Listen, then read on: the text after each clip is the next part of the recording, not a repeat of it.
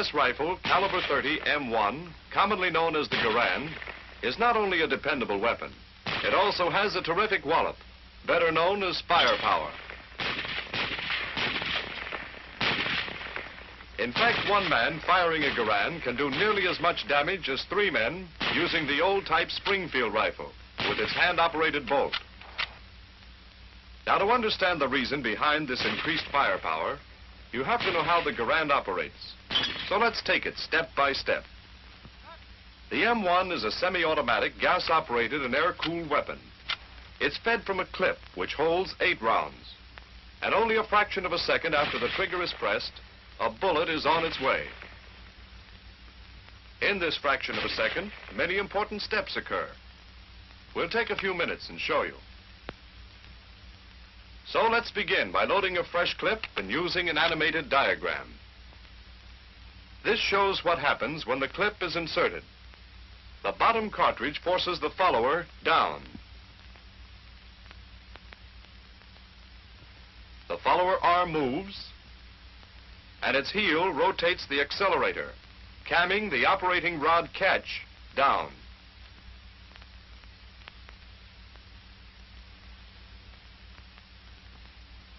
We'll now add the operating rod, spring, and bolt to the diagram.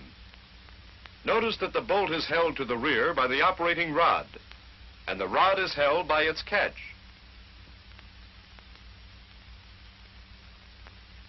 Now watch the accelerator as the follower moves down. It rotates, camming the operating rod catch down. When the catch disengages, the rod starts forward, pushed by its compressed spring, and carries the bolt with it. Take a closer look at the bolt. As it moves forward, a cartridge is stripped from the clip and guided into the chamber by the feed ramp.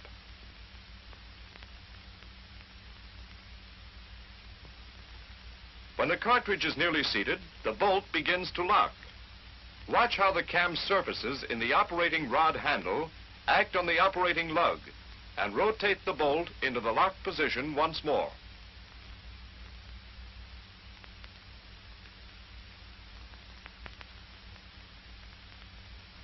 Here's the same action on the rifle itself. Now, as the bolt locks, the extractor snaps into the extractor groove, and the ejector is forced into the face of the bolt, compressing the ejector spring. Remember that this happens as the bolt is locking.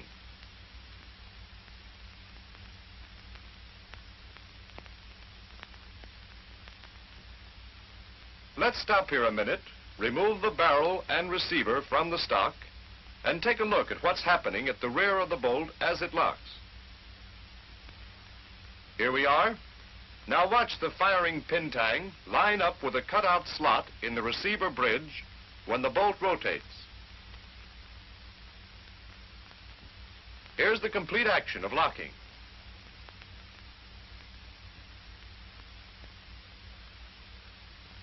Now that the bolt is locked, we're ready to fire.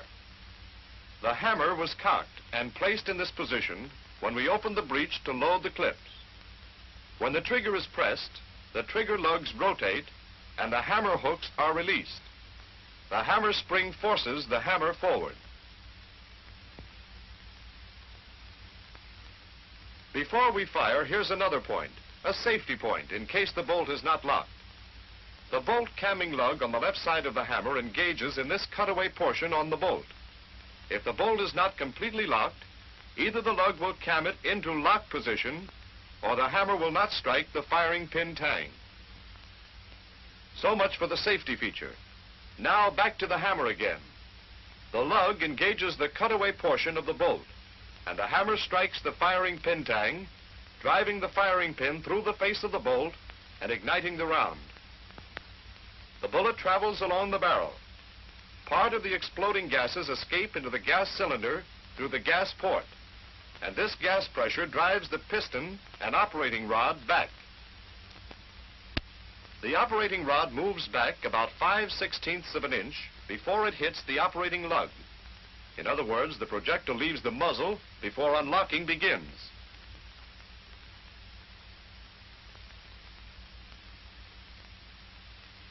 Then the cam surface in the rod handle hits the operating lug. The bolt turns, unlocking the lugs from the receiver. Watch it again.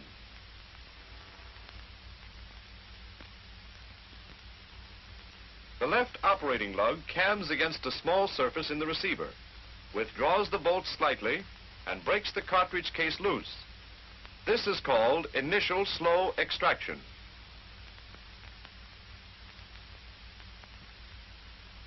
At the same time, the bolt camming lug is cammed out of its notch and forces the hammer away from the firing pin tang. This allows the firing pin tang to cam against this surface on the receiver bridge, withdrawing the firing pin from the bolt face. Here is the same action on the rifle. Now the complete action.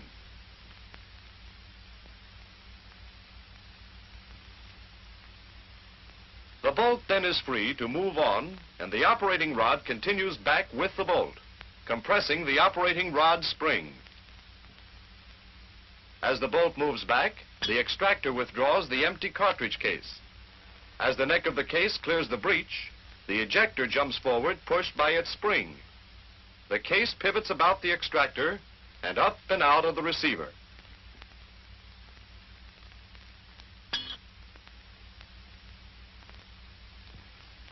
The same thing in animation. Now, as the bolt moves to the rear, it forces the hammer back, which compresses the hammer spring. There the bolt is back, and the hammer is caught by the sear. But look at it again. Notice that the trigger is still all the way back, after the hammer is caught by the sear. The reason is that the hammer is back before the finger can release the trigger. Watch this action in slow motion.